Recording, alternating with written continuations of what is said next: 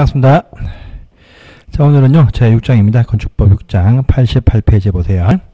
기타 건축 제한 등이죠. 높이 제한부터 나옵니다. 그래서 이 편은요, 시험에 꼭 시험에 나오는 상이니까 정리를 반드시 하시고, 이 6장 전체에서 한 문제는 반드시 나옵니다. 두 개까지 나올 수도 있습니다. 그래서 조금 길게 해서 6장을 끝을 내겠습니다. 자, 일단은 그 1절, 1절입니다. 88페이지에 대지가 지역, 지구, 구역에 걸치는 경우에 조치다 되어 있죠. 조금 국토 어, 우리가 이제 안 배우지만 다른 법에도 있는 상인데요. 자, 1번 보시면 이런 말을 봅니다. 우리가 건축법이 있습니다. 건축법 보시면 하다못해 우리가 저 배웠습니다. 저기 보시면 그렇죠? 공개 공지 같은 경우에 예, 설치 대상 지역이 있죠. 1준위, 상준위에서 일반 주거지역, 뭐 준주거지역 등이 포함이 되었죠. 일반 주거지역 지금 설치합니다. 그런데 만약에요. 저기 전용 주거다 그러면 설치할 필요가 없어 없습니다. 설치할 필요합니다. 그런데 하나의 땅입니다. 하나의 대지가 보니까 이 두 군데 토지에 걸쳐 있습니다. 걸쳐 있어. 딱 보니까 이쪽이 보니까요 전용 주거 지역이다. 음? 이쪽에 보니까 일반 주거 지역 걸치는 땅도 참 많습니다. 그런데 이 땅 주인이 이 땅 주인이 요 대지를 분필하지 않고 한 개로 합쳐서 이용케 합니다. 이용코조 합니다. 그래서 그러면 전용 주거 쪽이 딱 보니까 이쪽이 한 600이 포함이 딱 되었다. 일반 주거 보니까 한 뭐한 400이 딱 포함이 딱 되었습니다. 전체가 1000제곱미터다랍니다. 그럼 이 사람들이 이 건물 땅 주인이 이걸 분필 안 하고 전체를 1000제곱미터 가지고 한 개의 건물을 딱 건축을 큰 걸 하려고 한다고 합니다. 그런데요. 전용 주거는 보니까 공용운자가 필요가 없습니다. 그런데 이것은 필요하네요. 이럴 때입니다. 이럴 때, 요 걸치는 건물 딱 건축했을 때, 이용할 때, 어? 요 대지에서 공개 공지가 설치가 하느냐, 음? 필요하냐가 묻습니다. 이때 보시면, 이때입니다. 과반이 어디에 속하느냐 봅니다. 과반, 음? 반 이상이죠. 자, 보니까 전용주거가 과반이 넘어, 음? 400이 일반주거죠. 당연히 전체가 그러면요 과반이 속하는 쪽이 어디냐 전용주거다 그러면 큰 건물 지어도 요 전체에서는요 공개 공기가 필요가 없다는 말입니다 이쪽으로 딱 보겠다는 것이죠 음? 음? 그래서 보시면 걸쳐 있으면 과반이 속하는 곳이 어디냐에 따라서 속하는 곳에 맞는 토지 용도에 맞춰가지고 건축 제한을 하겠다라고 하는 말입니다. 그 말이 1번에 있습니다. 보시고요. 그래서 대지가 두 군데 토지에 걸치면 과반이 속하는 곳이 어디냐에 따라서 건축법을 적용시킨다라는 말인 거기에 의미에 담겨 있습니다. 1번입니다. 자, 또 이번에 보시면 이제는요. 하나의 대지가 있는데 요 대지가 방화지구란 곳에 대지가 걸쳐 있습니다. 방화지구 우리가 배웠습니다. 방화지구 안에 있으면 건물의 주요 구조부와 외벽과 지붕은요 방화구조로 한다. 돈을 많이 투입해서 건축을 딱 해야 됩니다. 해야 돼요. 여기서 건물 짓는다. 요 제한은 다 적용을 받게 됩니다. 근데 이쪽에 건물 짓는다. 라면 이 제한을 받지 않습니다. 하나. 그런데 요 땅 주인이 방아지구와 아닌 곳에 걸쳐서 이제는 또 건축을 한다라고 합니다. 그러면 걸치니까 건물이 불부터 넘어옵니다. 여기 여기 둘 다 요 제한을 적용을 시킵니다. 걸치면 요 건물 전부 다 방아지구 제한 받게 된다는 합니다. 그런데요. 우리가 저기 대지가 걸칠 때 보시면 대지와 건물 전부가 다 가반에 속한다. 아, 단 규칙에 적용시킵니다. 그런데 방아치구에 걸치면 방아치구입니다. 그냥 일반적인 장소는요, 이 대지가 되었던 건물이 되었던 이쪽에 위치하던 다 전체가 다 과반 속하는 쪽에 맞춰서 건축법을 적용시킵니다. 그런데 방화치구란 곳에 걸치는 건물 나올 때는요, 걸치는 건물 나올 때 안에서 요 건물 전부 다 방화지구 제한받는다. 그런데 나머지 대지 나머지 쪽에서는요, 요쪽은 방화지구 제한 받지 않습니다. 여기만 받습니다. 그래서 방화지구에 걸치는 건물 나오면 걸치는 건물 그 전부만 방화지구 제한 받는다. 대신 나머지 이쪽 부분들은 방화지구 제한 받지 않습니다. 그 말이 여기에 이번에 포함되었습니다. 그리고 다만 단서 보시면 요 걸치는 건물 같은 경우도 요 걸치는 건물이 방화 지구와 아닌 곳에 경계에 따라서 방화 벽으로 구획을 나누어 둔다라면 건물 이쪽 나머지 부분들 방화 지구 제한 받지 않는다 라는 말도 보면 단서에 나옵니다. 요것도 같이 보시기 바랍니다. 그리고 또 하나 더 있습니다. 이제는 또 대지가 음? 보니까요 녹지란 곳에 걸치고 있습니다. 녹지 음? 지역입니다. 녹지요. 기타 어떤 지역 보입니다. 이때는 말입니다. 자, 녹취가 보니까 300이 딱 포함이 되어서 기타 장소는 400이 딱 포함이 되었습니다. 과반은 이쪽입니다. 이쪽. 하지만요, 녹지란 곳에 걸치면 면적을 묻지 않고 요쪽은 계속 녹지로 갑니다. 각각, 음, 각각, 음, 각각 별도로 해당 그 지역에 속한 용도 지역 제한 받는다랍니다. 그래서 녹지란 곳에 걸치면 면적을 묻지 않고 각각 분리해서 따로따로 적용시킨다라는 의미가 3번에 포함되었습니다. 이것도 풀어주십시오. 그 다음에 제2절편입니다. 이제 건축물의 높이 제한. 음, 이것도 항상 잘 뜨죠. 자, 높이에 관한 규제, 높이 제한을 해보십니다. 높이는 크게 보시면 세 가지의 높이 제한이 있습니다. 세 가지 있습니다. 여러분 혹시나 강의를 보시는데 제 밴드 있죠 밴드. 조미수 밴드 가시면 문제가 계속 올라갑니다 문제. 기본 문제 올라갔고요. 응용 문제가 계속 올라갑니다 응용 문제. 그러니까 요 진도에 맞춰서 응용 문제가 쫙 깔리니까 이것도 출력해서 한번 풀어보십시오. 응용 문제는 해설이 없습니다. 해설이 없고 답만 있어요. 그래서 고민을 좀 해보시면서 책을 책에 다 답이 있습니다. 그래서 연구해 보시면 실력이 쌓입니다. 절대 해설만 보시고 바로 답을 찍지 마시고 해설을 위 해설 없는 상태에서 고민하시면서 왜 틀렸을까 맞을까 라는 것을 기본서 통해서 확인하시면 실력이 부쩍 쌓입니다 그러니까 그런 부분들 훈련을 계속해 주십시오. 자, 일단은 거기 제6절, 제6절, 제2절 매전 높이 제한이죠. 높이 제한하면요. 크게 보시면 세 가지가 나옵니다. 첫 번째 보시면 가로구역, 가로구역 단위로 결정되는 높이가 있습니다. 또 두 번째 보시면 1조 등, 1조 등 제한이 있는데 보시면 이번 상은 1조 요 자체를 위한 높이 제한이고 또 기타 등 음, 이것은 무엇이냐면 공동주택만의 또 높이 제한이 있다. 이렇게 해서 구분을 딱 합니다. 해요. 그래서 가로구역 단위에서의 높이 제한과 1조권 확보를 위한 높이 제한과 등에서는 기타 공동주택 높이 제한이 있습니다. 이것은요 일종의 사생활 주민의 사생활, 음, 요 사생활을 위해서 주어지는 높이에 관한 제한이다. 이렇게 또 아시면 됩니다. 자, 가로구역 아시죠? 도로, 도로, 도로가 형성이 쭉 되어지면 그 사이사이에 일단의 토지가 탄생이 딱 되어집니다. 도로로 둘러싸여 있는 일단의 구역들, 가로 구역이라 부릅니다. 그러면요. 탄생이 딱 되어지면 해당 가로 구역별로 해서 높이를 정해서 발표합니다. 높이. 그래서 보시면 이쪽 구역은 딱 보니까 높이를 30m 갑시다. 이쪽은 40m 가자 가운데니까 30 가자. 이쪽은 또 30 가자. 50 가자. 40 가자. 높이를 정하시겠습니다. 음? 해당 그 장소에 어, 건축의 허가권자들이 가로 구역별로 해서 높이를 지정해서 발표 공고를 할 수 있다. 그러면 모든 건물들 이 높이를 넘을 수가 없습니다. 그런데 그런데 요 높이가 좀 낮다 싶어. 그러면요. 요 중에서도 시군구청장급에서 높이를 완화해서 조금 더 높게 지정을 할 수가 있다라고 하는 부분도 나옵니다. 나오고요. 자, 또 보시면 30m, 50m 높이가 정해지지만 요 높이 안에서도 같은 구역 안에서도 만약에 오피스텔을 짓겠다 30을 다 준다. 아파트도 30을 가자. 그런데 연립주택과 다 세대는 15m, 학교 시설은 이제 20m. 이같이 건물의 용도, 종류 별로 해서 건축물 용도 별로 해서 높이를 차등을 두어서 다르게 지정도 할 수가 있다라고 합니다. 그리고 이런 곳이 아주 자주 발생되는 거대한 도시입니다. 서울특별시나 인천 등 광역시 거대한 도시죠. 이런 거대한 도시는 자주 이런 곳이 나옵니다. 그때마다 발표하기가 상당히 번거롭고 좀 그렇습니다. 그러면 특별시 광역시급에서는 이 가로구역 단위 높이를 아예 아사리 처음부터 그들 시 조례입니다. 조례로 조건을 정해서 높이를 발표를 할 수 있습니다. 그래서 만약에 앞으로 이런 곳이 탄생이 딱 되어지는데 요 구역의 면적이 보니까 1만 제곱미터에서 3만 제곱미터 정도의 면적이 딱 나오면서 요쪽 토지 용도 지역이 만약에 상업지역이다. 상업지역이다. 음, 상업지역이다. 그러면서 도로 넓이가 12m에서 15m 요 정도 넓이가 딱 나오면 높이가 50m이다. 이와 같이 그들 시조례로서 높이를 다 조건을 정해서 정해 놓을 수가 있다. 이것은요, 조례 딱 되면 특별시와 광역시만 그렇다. 아시게 됩니다. 그 내용들이 오른편에 책에 딱 있죠. 4번 상 발표하십시오. 그 다음에 02번입니다.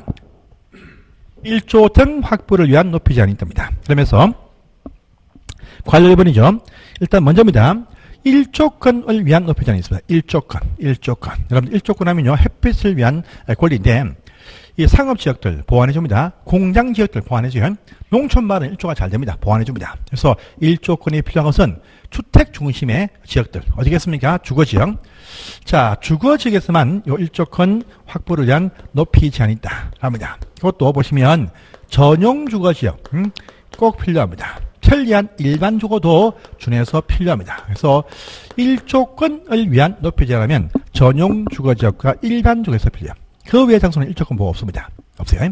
또 준주거지역 요것도 없어요. 그래서 순수하게 전용과 일반 주거에서만 있습니다. 그 말이 먼저 거기에 딱 나와 있습니다. 보시고요. 그것도 요 장소에서 보시면 햇빛은요 남쪽에서 북쪽으로만 항상 비칩니다. 기울기는 틀려. 하지만 어, 남쪽에서 북으로 비쳐. 동서가는 항상 오전에 심해하죠. 동서가는 없습니다. 요 장소 안에서도 항상 정북쪽, 딱 정북쪽 방향 음, 이것이 정남쪽에서 건축하는 건축물 때문에 1조 등치배가 발생합니다. 하니까요, 요 전용과 일반 주거안에서도 정북 방향 대지의 1조 보호를 위해서 정북쪽 방향 대지 인접 대지 경계선에서 정남쪽으로 건축 행위를 딱 합니다. 여러분 혹시나 이 필로티 부분도 높이에는 포함된다. 하지만 바로 이 가로 구역과 일조근 등 제한할 때는요. 이 부분을 높이를 딱 빼준다. 빼준다를 겁니다. 음? 배웠습니다. 배웠어요. 그래서 이 정북 방향의 대지의 일조 보호를 해서 정남쪽의 건물 딱 지을 때 정남쪽의 건물 이 높이입니다. 이 높이가 보시면 9m 정도까지 이해합니다. 그러면 3층점 나옵니다. 3층점 나와요. 요 정도면 북쪽 대지 경계선에서 요 사이 넓이를 1.5m 이상만 띄우면 된다랍니다. 9m 이하이면. 8m에도 1.5, 7m도 1.5입니다. 그런데 요 9m를 초과합니다. 9m를 초과하는 높이를 가지고 있다랍니다. 이때는요, 건물 각 부분, 각 부분, 각 부분 그 높이에 2분의 1 이상을 띄운다랍니다. 음? 그래서 10m이면 5m, 20m이면요 10m를 띄운다 이 말입니다. 그래서 9m까지는 딱 보시면 어 1.5m를 딱 띄우시만 9를 초과하면요 그 부분뿐 아니고 각 부분 하면 음, 그러면 앞부분, 뒷부분, 가운데 부분 해서 앞부분에서 2분의 1, 뒤에서 2분의 1, 또 제일 뒤에서 2분의 1 이렇게 띄운다는 것이죠. 이제 띄워서 이제 북쪽 대지의 사생활을 어, 일조권을 보여준다라는 의미가 포함이 딱 되어 있습니다. 음? 그 내용이 여러분들 보시면 1번의 원칙이 있습니다. 예외 통과하세요. 통과하시고요. 또 다음 장 가보시면 반대로 3번상 정남 방향의 1조를 위한 높이장. 음? 이것은요. 여러분 지금 말고 문제풀이 할 때 그때 하겠습니다. 통과 지금 잘 안 오니까 통과하십니다. 그 다음에 2번입니다. 공동주택만의 또 높이 제한이 있다. 또 등장을 딱 합니다. 요것도 1조 등에는 포함됩니다. 요것도 1조 제한 다 받습니다. 음? 받고요. 요런 장소 안에 있으면. 그런데 이 장소를 불문하고도 추가적인 제한이 또 있어요. 뭐냐? 사생활을 위한 또 제한이 있더라. 합니다. 사생활입니다. 이것은요. 옆에 있는 대지, 인접 대지에서의 사생활을 위한 높이가 제한되기도 합니다. 또 같은 대지가 뭡니까? 같은 아파트 단지, 같은 대지 내에도 동동 간의 높이가 제한됩니다. 그래서 만약에 요, 요건 얘기죠. 공동주택을 건축할 수 있는 그 장소에서 건축을 딱 합니다. 했을 때 여러 주택들이 인접 장소를 바라보게 되어져 있습니다. 기분 나쁘다겠죠. 일단요, 공동주택을 건축할 수 있는 모든 장소에서는 동쪽, 서쪽, 남쪽, 북쪽을 묻지 않고 인접대지의 사생활 보호 때문에 요 높이는 요 띄운 거리, 요 띄운 거리에서 요 높이는 최대 두 배, 음, 두 배, 이것을 넘지 못한다는 제한이 발생합니다. 사생활 보호를 위해서. 반대로 그 높이에, 그 높이에 2분의 1을 띄운다와 같은 말이죠. 띄운 거리의 2배, 높이의 2분의 1 같은 말입니다. 그래서 사생활 보호 때문에 이 공동택을 지을 때 거리, 띄운 거리에서 그 최고 높이는 2배를 넘지 못한다. 이런 제한이 발생합니다. 거리 2배를 뭐 높이 2분의 1 띄워도 사실 보일 건 다 보입니다. 그나마 좀, 이 점은 띄우지 않는 그 예의상의 문제죠. 예. 진짜 사생활을 보려면, 뭐, 세 배, 쫙 띄어야 되겠죠. 그러면 건물 지을 땅이 너무 부족해요. 그래서 요점만 다 봐줍니다. 그런데요, 공동주택을 건축할 수 있는 지역입니다. 지역인데, 사생활보가 좀 덜한 곳이 있어요. 혹시나, 중심상업지역, 중심상업지역, 일반 상업지역도 공동주택을 건축을 할 수가 있습니다. 음? 있어요. 하지만, 이런 장소는요, 편리한 반면 사생활 포기해야 돼. 높이 제한이 없습니다. 음? 상업지역 중심과 일반 상업지역 없어요. 요쪽 이쪽도 물론 없습니다. 다 일조권 제한다가 없어요. 근데 자 우리 걸린 상업지역, 걸린 상업지역 이란 곳이 있습니다. 그다음에 준주거 지역은요. 이쪽은 조금은 보이죠. 그래서 걸린 상업지역과 준주거에서는 그 띄운 거리의 건너피는 4배까지 올라간다. 4분의 1만 띄우면 된다란 말입니다. 보시고요. 그 다음에 서민들이 많이 모여 사는 다 세대 주택은요 많이 띄우게 하면 건축이 힘듭니다. 힘들어. 그래서 1m 이상을 띄운 다 세대 주택은 그러지 않아야 그래서 다 세대 필러택은 1m만 딱 띄우면 사생활 보호 한글로 간주해준다. 라는 의미가 포함되었습니다. 그래서 그 사항들이 보시면 거기에 오른편에 그 제일 위에 원칙에서 나와 있죠. 음? 또 예외 보시면 다 세대 주택일 때는 1m만 띄우면 된다. 원칙과 예외 지역관 연입니다. 보시고요. 그 다음에 이번에 보시면 하나의 대지에 두 동 이상의 건축하는 경우 높이자. 요겁니다. 같은 대지 하나의 대지에 두 동 이상 단지 내에서 1동, 2동, 3동 동동 간의 높이자 아닙니다. 그 말이 있습니다. 자 원칙 보시면요. 보통은 이래요. 보통은 단지 지을 때 판상형이죠. 자 101동 건물, 102동 건물, 103동 건물, 104동 건물, 105동 건물과 106동을 딱 건축을 딱 하면서 상가 부대 시설, 각종 어떤 노인정, 각종 경로당, 권리사무실, 또 부대 그 복리시설, 어디 각종 상가 등을 딱 건축합니다. 예, 이렇게 하죠. 여러분들 아파트 보시면 이 복도식 같은 경우는요 앞면은 큰 채광창, 뒷면 복도 쪽은 비치광창입니다. 계단식은 앞대가 다 채광창입니다. 그래서 만약에 복도식입니다. 복도식인데 이쪽이 큰 대형 채광창이 딱 보인다. 뒤에 복도입니다. 복도 비채광창. 이쪽은 채광창. 뒷면은 비채광창 이렇게 부릅니다. 요 채광창이 있습니다. 이쪽도 일로 딱 바라보게 딱 되어져 있네요. 있습니다. 비채광창입니다. 이때요. 채광창이 바라보는 것이 건물 뒷부분을 바라보든 또요 척벽을 보든 간에 요 채광창이 바라보는 것이 건물 각 부분을 바라본다. 라면 각 부분 앞뒤 좌우 다 포함됩니다. 그러면은요 그 높이는 띄운 거리에 0.5배 높이에 0.5배 이상을 띄워라. 랍니다. 건물 각동의 높이에 0.5배 2분의 1 띄워라 이 말입니다. 또 비창창 비창창 건물 뒷부분입니다. 음? 여기 이쪽은 이쪽이 창창, 이쪽이 비창창이네요. 비창창. 이럴 때 보시면 비창창과 건물 척벽, 척벽 옆부분 이 서로 바라본다랍니다. 그러면요. 이때는 8m 이상을 띄운다랍니다. 자, 또 건물 척벽과 척벽 요 사이입니다. 요 사이. 자, 척벽과 척벽 사이에 건물이 발생이 딱 되어지면 4m 이상만 띄우면 된다라고 합니다. 그러면서 자, 건물 각 부분과 이제 뭘 보냐? 부대 시설, 음? 부대 시설과 복리 시설과 건물 각 부분이 서로 바라본다라고 합니다. 각 부분이. 이때는요. 자, 한 배에 한 배 이상을 띄운다. 높이에 한 배 이상을 띄운다. 그러면 참 많이 띄우겠죠? 아닙니다. 여기 부대 복리 상가 높이에 한 배 이상을 띄운다. 이 말 되겠다. 이게 해서 높이가 단지 내에서 이게 제한이 됩니다. 또 하나 더 있습니다. 그 밑에 보시면 예외, 예외 보이죠? 여러분들 이 판상형 말고 타워식, 높은 형태를 가지고 있는 타워식 아파트가 좀 많이 아, 탄생이 쭉 되어지죠. 타워식, 타워식. 요 타워식은요, 좁고 높아. 음? 그러면요, 한겨울 또 해가 다 들어옵니다. 그래서 요 타워식 아파트 같은 경우는 해가 짧은 동지날, 음, 동지날, 오전 9시에서 오후 3시 요 사이에 모든 세대가 2시간 이상 햇빛을 받을 수 있는 형태이면 따로 떼울, 따로 띄울 필요가 없다. 이렇게 되어집니다. 음, 그래서 1층 또 보시면 다 햇빛이 들어옵니다. 그래서 이렇게 해서 타워식으로 하든지 둘 중에 선택하라 하는 의미가 여기 포함이 딱 되어 있습니다. 그 말이 예외 있습니다. 보시고요. 그 다음에 또 한 장을 넘어가십니다. 한 장을 다 넘어가시면 어, 다음 페이지에서 3번 상은 통과하시고요. 4번 상, 음, 적용 특례를 보십니다. 적용 특례. 아니요, 5번 상입니다. 적용 제외를 보세요. 자, 요 2번, 3번에 둘 다 포함이 된다 할지라도 보시면 건물 층수가 2층 이하이면서 동시에 8m 이하인 건물. 뭡니까? 단독 주택 등입니다. 2층 정도 이하이면서 8m 정도 동시에 이걸 갖추고 있는 건물일 때는요. 요 두 가지 제한 다 받지 않게 할 수가 있다. 되어 있죠. 이때 2층 이하 이거나 하면 됩니다. 이고 이고 동시에 8m 이하인 주택들은 요것들 다 제한받지 않게 할 수가 있다. 하는 것도 제일 끝에 보시면 적용 제외편에 나와 있습니다. 그래서 그것이 1조 건을 위한 높이 제한포에서 높이 제한에 관한 상인데 항상 한번 나온다 보시고 요 틀에서만 꼭 시험에 나옵니다.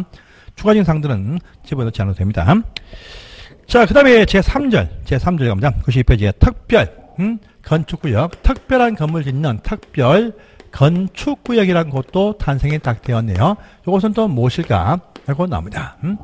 여러분, 이거 딱 보시면요. 서울 가시면 잠실, 잠실 롯데월드, 어? 롯데월드. 이걸 딱 떠올리시면 큰 문제가 없습니다. 롯데월드. 어? 123층이죠. 요거 123층이고 높이도 보시면 568m 한국에서 제일 높은 높이를 가지고 있는 건물입니다. 아, 이제 이것은요. 이걸 딱 기억하시면 됩니다. 아시겠죠? 아, 여보세요. 어휘가 시험에 두 번 나왔습니다. 어휘 시험에서 요 내용이 무엇이냐? 특별 건축 구역서라 주관식 두 번 나왔습니다. 볼까요? 자, 무엇이냐? 하니까 조화롭고 창의적인 건축물의 건축을 통해서 도시 경관의 창출, 건설 기술 수준의 향상, 관련 제도 개선을 도모하기 위해서 이 법 또는 관계 법령에 따라서 일부 규정을 적용하지 않거나 배제하거나 또는요 완화하거나 통합 적용할 수 있도록 특별히 진행 구역을 말한다. 되어 있죠. 이것이 바로 특별 건축 구역입니다. 아시고요. 오른편에 가십니다. 음, 그럼 가시면 이제 그럼 이러한 중요한 장소에 대해서 지정을 어떻게 할 것이냐가 첫 번째 등장합니다. 누가 하느냐 하면 이 양서는요. 자, 국토교통부 장관이 또 지정을 할 수 있습니다. 뿐 아니고 서울시를 포함해서 특별시, 광역시, 도시사가 또 지정을 할 수가 있게 해놨습니다. 자, 필요할 때 보시면 어, 직권적으로 지정을 할 수 있어요. 필요할 때. 또, 또 다른 회사 등에서 요청을 통해서 지정을 하기도 합니다. 그래서 뭐 잠실 같은 경우 롯데건설, 롯데건설, 또 저기 어 뭡니까 저기 서울 강남에 가시면 어 저기 한전부지 인수한 뭐 현대 현대 거기가 거기가 어디더라 거기가 무슨 동네더라 거기 역삼동이 아니고 어 삼성동입니다. 현대 그룹 4억을 올립니다. 이럴 때 현대차에서 이제 현대 자동차 건설해서 이제 요청할 수 있습니다. 요청 요청 통해서 좀 제한 좀 풀자리 요청할 수 있어요. 그러면요 요청이 딱 있죠. 요청이 있으면 30일 안에 건축이 심의를 거쳐서 그 여부를 알려준다라는 부분도 보입니다. 이것도 체크를 해주세요. 오른편 보시면 있습니다. 신청 딱 되어 있죠. 그 다음 장 보시면 또 그 내용이 나와 있습니다. 음, 해서 보시고요. 다음 장에 심의 고시 보시면 신청을 하면 30일 안에 심의를 통해서 지정 여부를 알려준다. 고 지금 94페이지에 나와 있습니다. 그 다음에 해제편 보이죠? 94페이지. 94페이지, 94페이지 봅니다. 94페이지. 보시면 그래서 요청을 통해서 지정을 딱 해 주었다라고 합니다. 그런데 그들이 지정했는데 불구하고도 5년 되어도 롯데월드타워 건축 공사 착수를 하지 못한다라고 합니다. 현대차 본사 착수를 못해요. 그럼 했던 지정은 해제, 취소할 수도 있다. 5년 정도 같이 보시기 바랍니다. 그 내용이 박스 안에 보시면 바로 3번 사항에 나와 있습니다. 어, 보시고요. 다시 앞 장으로 또 갑니다. 앞장 또 가보세요. 가보시면 93페이지 있습니다. 그러면 요 대상 지정 대상 지형 대상 지역이 참 많아요. 대상 지역이 참 많다. 참 많다. 참 많은데 참 많은 것을 다 볼 필요 전혀 없습니다. 다 볼 필요가 없어요. 지정할 수 없는 반대로 어떤 곳은 특별한 건물 지을 수 없다. 지정 금지 대상 지역. 요 금지 대상 지역이 중요합니다. 이것을 여러분들이 암기를 꼭 해야 됩니다. 그래서 두 번째 박스 보이죠? 기획부터 리얼 있습니다. 두문자 한번 따볼게요. 두문자 한번 따봅니다. 개, 자, 접, 보랍니다. 어? 개자, 접보. 자, 개발 제한 구역. 개발 제한 구역. 거림 벨트를 말합니다. 서울시 주변에 참 많죠. 또 도시가 자연공원, 자연공원 구역에 대해서 정할 수 없다. 또 시골 농촌 가시면 도로 인근에 건축할 수 없는 접도구역 이것도 안 되겠다라고 합니다. 그 다음에 여기 보전산지, 보전산지에도 정할 수가 없다랍니다. 해서 계좌 접보, 라고 하는 요 장소에 대해서는 지정할 수가 없다. 해서 꼭 외워두시기 바랍니다. 계좌 접보는 지정 금지 대상 지역이다. 이렇게 말합니다. 그래서 그 사항을 또 보시고요. 또 2번 보시면 박스 밑에 바로 밑에 에, 군사시설 보호구에서 지정을 하고자 한다. 할 때는요, 할 수는 있어. 근데 국방부와 사전에 협의가 필요하다. 이것도 체크를 살짝 해주세요. 해서 보시고 또 다음 장을 또 넘어가십니다. 그러면 이제 94페이지 가보시면 재정 효과, 효과 4번 상 이것도 중요합니다. 이 특별한 근무를 지으려면 특별한 혜택을 줘야 돼요. 그래서 요 지정을 했습니다. 했을 때 효과가 무엇이냐가 또 중요한 상으로 등장은 하고 있습니다. 효과가 중요합니다. 그래서 보시면 첫 번째 관로 1번 상입니다. 우리가 배우진 않지만요. 이름마다 보입니다. 우선 도시군 관리계획, 도시군 관리계획 요것이 입안 결정된 것으로 본다는 말이 딱 보이네요. 이건 우리가 안 배우지만 상당히 중요한 용어입니다.